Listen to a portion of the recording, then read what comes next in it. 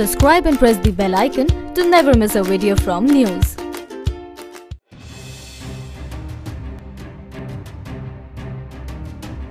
Encounters underway in the Karan Nagar area of Srinagar after CRPF constable was killed in a gunfight which started following an attack by militants on Monday when they targeted a CRPF camp.